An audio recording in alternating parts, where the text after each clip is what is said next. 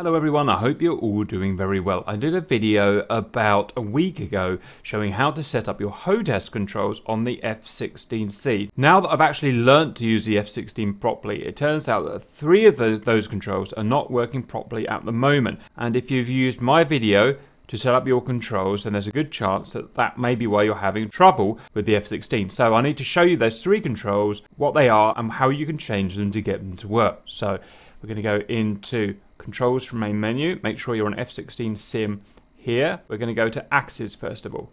First one here, I told you to set antenna elevation knob. This adjusts the elevation of our radar antenna and I told you to set it in the axis commands here to an axis. Turns out at this early access of the F-16 that doesn't work. It just messes up your F-16. Of course later on they'll fix it and it will work but for the time being you need a way around it. Now this may not be a problem with all of the different HOTASs out there. It certainly is a problem with the X56 that I've got and some of the other Saitek or Logitech joysticks. Other things, Warthogs, they may work fine. I don't know, but I'm telling you so that if you've got a problem with these controls, this is a way around it. So delete that. That's no good. And so what we have to do to change our antenna elevation for the time being, until we get a better way around it, I'm going to go to search. So this is non-axis controls. I'm going to go to antenna elevation knob. We've got binary commands here. Uh, I don't really have space for them on my HOTAS anymore. I'm just I don't have any more buttons to press. So for the time being, I've just put them on my keyboard as E and Q. So that's that one fixed for the time being.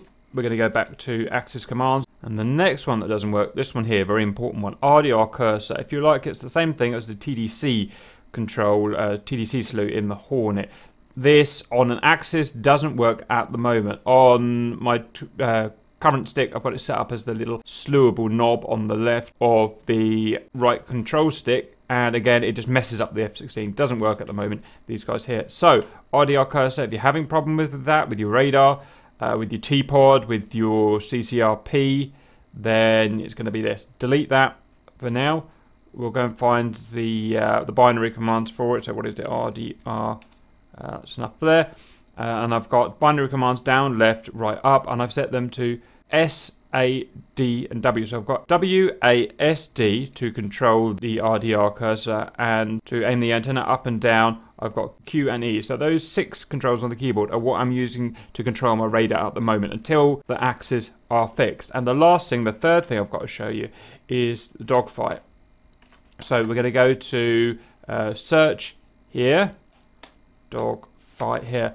Dogfight switch has three movements of the switch. You need dogfight missile, you need dogfight dogfight, I know that sounds a bit weird, and you need dogfight center. Now for dogfight and missile override, I told you to bind that one there and that one there. So dogfight slash center and missile override slash center. It turns out those are not what I thought. To make that work, to go to dogfight mode and missile mode, you have to actually press and hold these two buttons, which is uh, not useless, but it's pretty terrible. So scratch those. What you actually need is just pure dogfight for the dogfight mode. So change that to the relevant button on your joystick. While I'm here, I'm just going to change that ever so slightly. I'm still trying to work out exactly where, where I want everything. And you also need to be able to center it, and I forgot to show you this. So you will need center as well. So you need, uh, so you need missile override pure, dogfight pure, and center pure. Those, this is what I recommend to have. And again, I haven't decided exactly where I'm going to put that yet, but I'll get that sorted. So those are the three things. RDR cursor not working in axis, you need to change that if you're having problems. And Antenna elevation not working properly in axis, so if you're having problems, change that. And the dogfight modes I showed you were wrong. Please get these three